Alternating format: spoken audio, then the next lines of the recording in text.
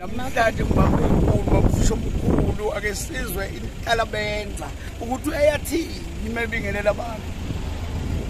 Sikhona manjalo isikhoji south africa lebezo lifakazi naso nazo dlala njalo nilandele njalo nenilandelile ziningi iy'ndaba ziningi iy'nkinga ziningi iy'nkinga ezisolvayo nani niyadingeka ukuthi um nibe nesandla kulezi y'nkinga njalo. Siyabonga. ka-ten rand. Mina ngihamba ngenkonzo ka-ten rand. Pheli